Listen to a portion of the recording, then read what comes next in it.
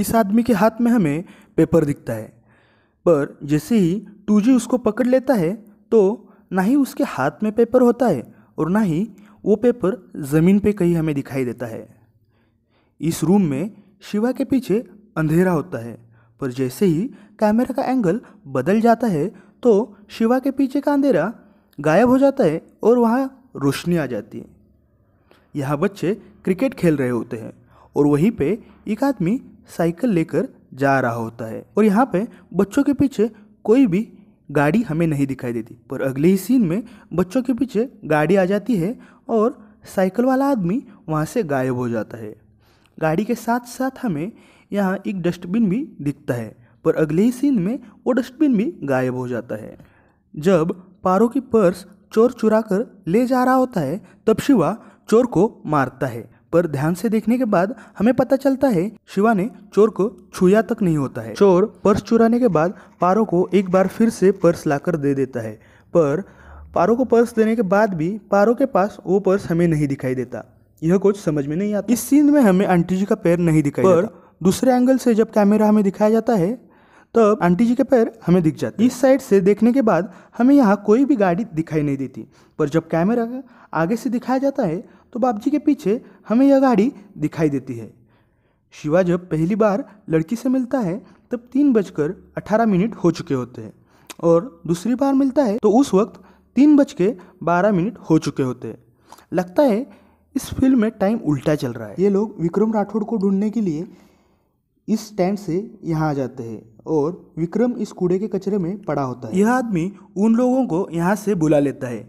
फिर हमें दिखता है कि शिवा उसी बस स्टॉप से आगे जाता है और इसी कूड़े कचरे के ढेर के पास ही थोड़ी देर पहले यह सब लोग विक्रम को मारने के लिए रुके थे। बच्चे के हाथ की थाली में बहुत सारा राइस होता है, पर अगले ही सीन में हमें उसी थाली में बहुत कम राइस दिखाई देता है। इस सीन में दिखाते हैं कि शिवा आठ बजे बाहर जाता है और दो बजे वापस आता है।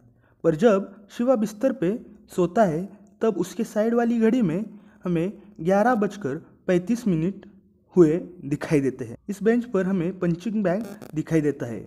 पर जब पारो आती है, तब वो बैग हमें वहाँ नहीं दिखाई देता। यहाँ इस बंदे ने इस आदमी का बाया पैर पकड़ा होता है और दूसरे ही सीन में हमें दाया पैर पकड़ा हुआ दिखाई देता है।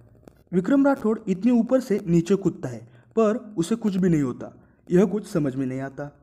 इस जनरेटर के पास गाड़ी खड़ी होती है और दूसरे सीन में यह गाड़ी अचानक से गायब हो जाती है। विक्रम के इस साइड भी कुछ गुंडे यहाँ पे खड़े होते हैं पर दूसरे सीन में वो गुंडे वहाँ से गायब हो जाते हैं। यहाँ कहीं भी गाड़ी हमें दिखाई नहीं देती, पर अगले ही सीन में यहाँ एक टू व्हीलर आ जाती है।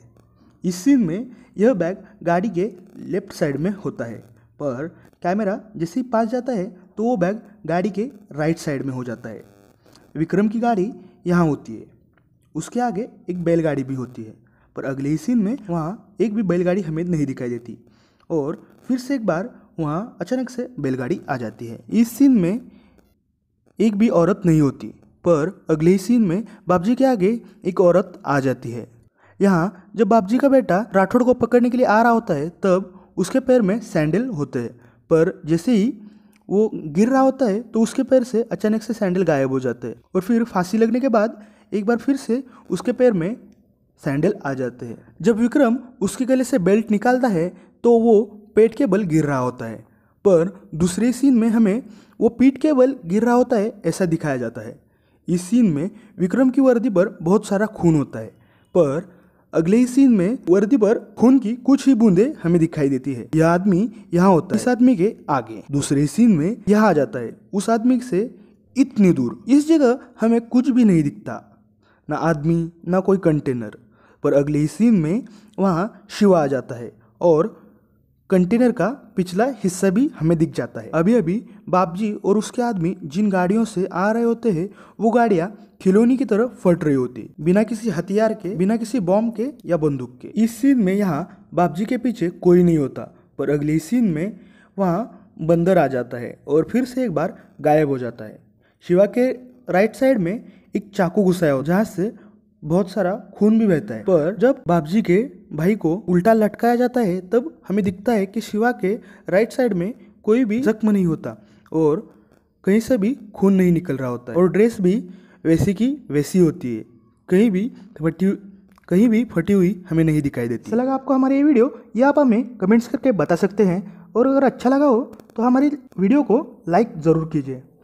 अगर आप हमारे ये वीडियो फेसबुक पर देख रहे हैं तो हमारे फेसबुक पेज को लाइक कीजिए और अगर आप हमारी ये वीडियो यूट्यूब पर देख रहे हो तो हमारे यूट्यूब चैनल को सब्सक्राइब ज़रूर कीजिए। धन्यवाद।